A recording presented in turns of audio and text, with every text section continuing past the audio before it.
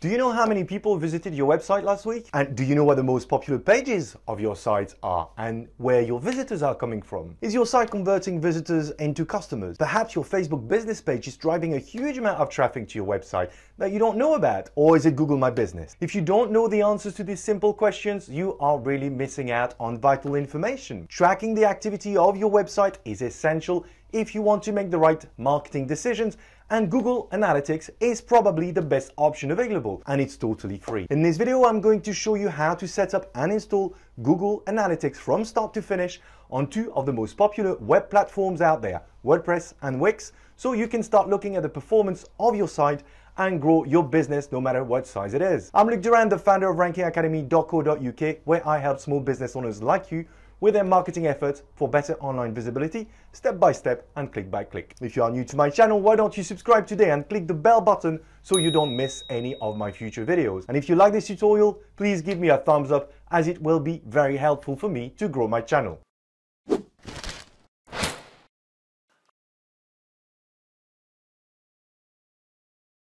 Before you can install Google Analytics on your website, you need to create a Google account. You may already have a Google account in the form of a personal email address. If this is the case, I would still suggest that you create a new account dedicated to your business. In order to do so, just go to google.com and click on sign in on the top right hand corner. Then click on the option create account and start filling in your details. For the first name and the last name, I usually use my own details. As per the username, I use the domain name of the website I am trying to create an account for. In this instance, I've created a brand new website and I need to create a new Google account. So I'm going to use the domain name as a username for the email address.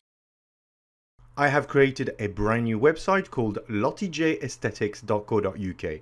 So I am creating a Gmail account which will be called lottiejaesthetics at gmail.com. Choose and confirm the password you want to use for this account and then click next.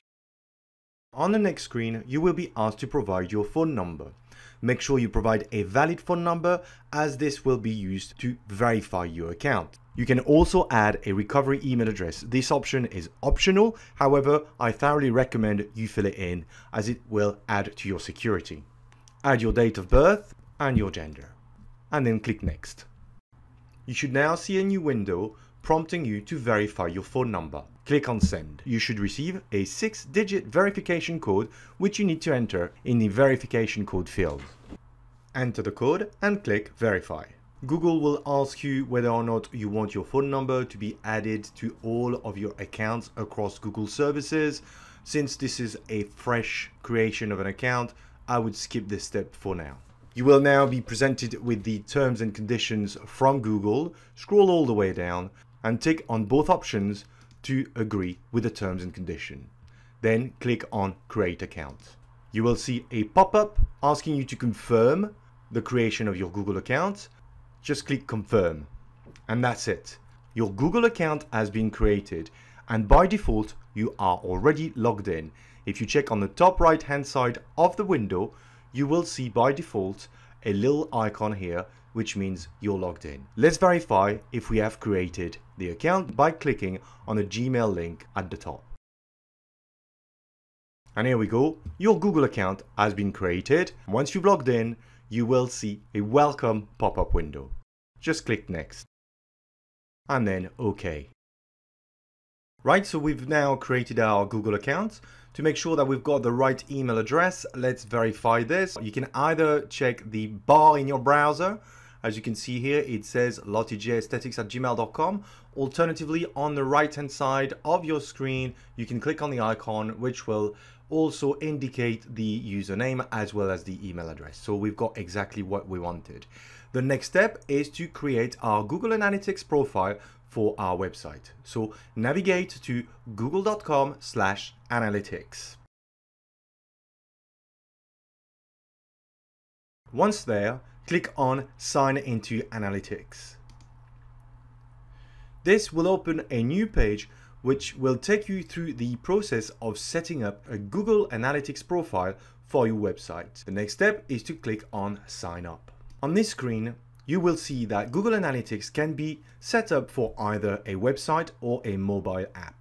Today, we're looking to set up a Google Analytics profile on websites. We will leave it as the default option. Time to fill in the details in order to set up the Google Analytics profile, with the very first field being the account name. For the account name, what I generally use is the name of the business or the organization I'm working with. So in this instance, I'm going to use Lottie J Aesthetics.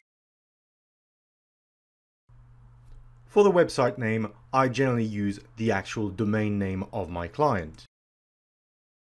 And finally, for the website URL, obviously I use the URL. Make sure you choose whether or not your website is in HTTP format or HTTPS.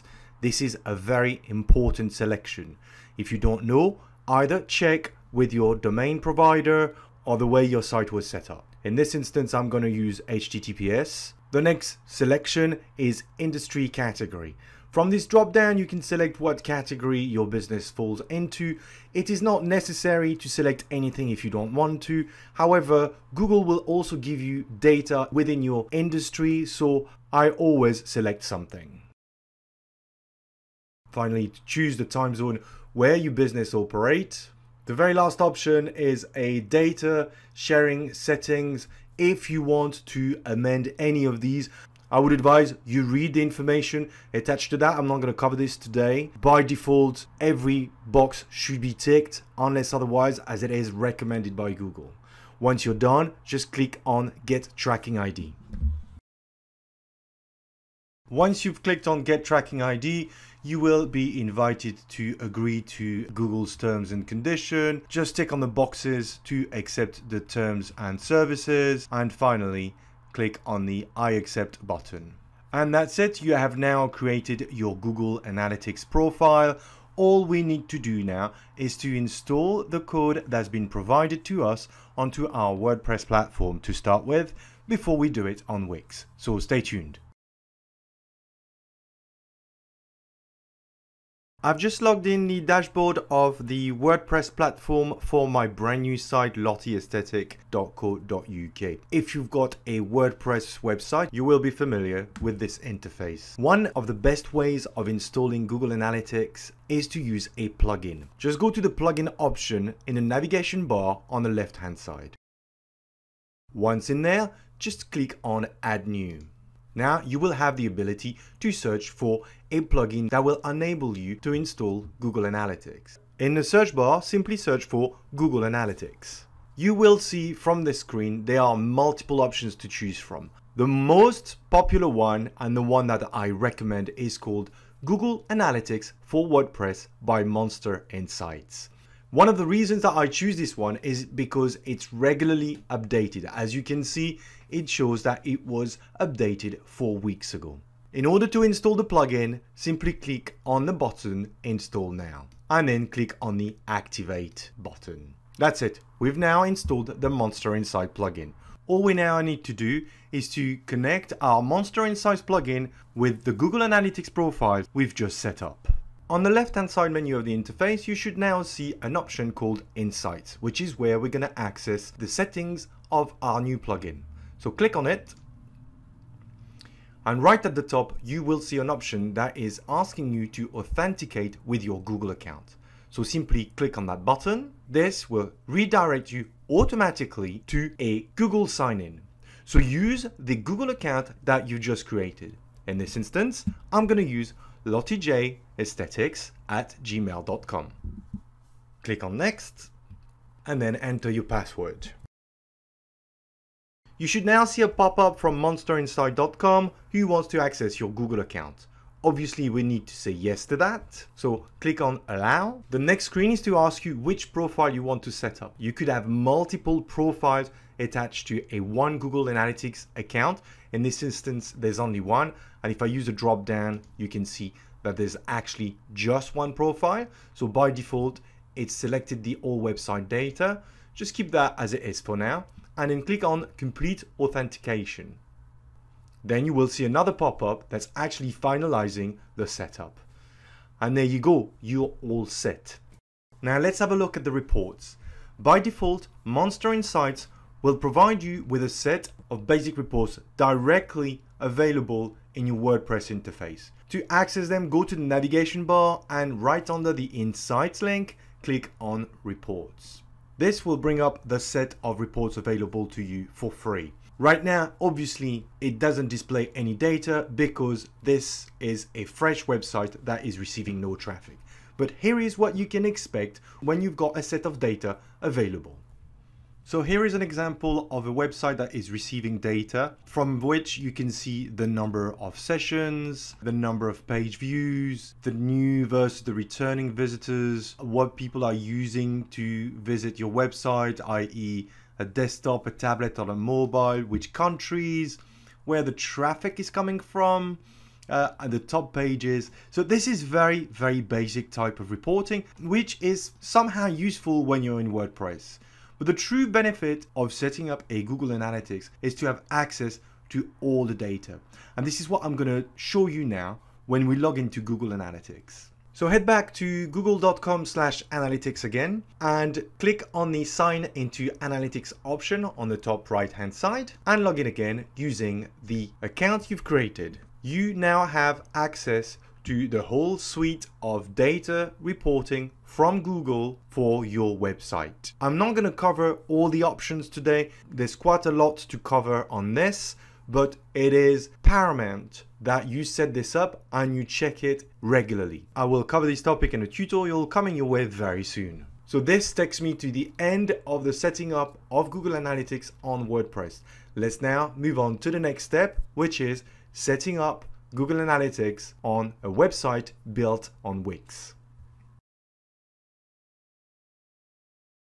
So if you're running your website on a Wix platform, installing Google Analytics is super simple. We've already covered step one, creating a Google account, and step two, creating a Google Analytics profile. All you need to do now is to log into the dashboard of your website on Wix and click on the settings option. Once you're in there, select the tracking and analytics option at the bottom of the left hand side menu. In there, you will see a number of options where you can add analytics. Choose the Google Analytics option, which is the very first one. At this point, you will be asked to enter your Google Analytics tracking ID. If you don't know where to find this, simply log back into your Google Analytics profile, scroll down to the admin area by clicking on the link admin at the bottom left of your screen and then click on property settings in the middle column. And this is where your tracking ID is located right at the top. Simply select it and then enter it in the field where it says Google Analytics tracking ID and then click apply. And that's it. You have now associated your Google Analytics profile with your website on Wix your data will start showing up in Google Analytics within 24 to 48 hours. We're done for today. Thanks very much for watching. If you found this tutorial useful, please give me a thumbs up. If you're new to my channel, don't forget to subscribe and to hit the bell button. For any comments or questions, post them right below the video and I will respond to them. Hope to see you soon. Happy marketing.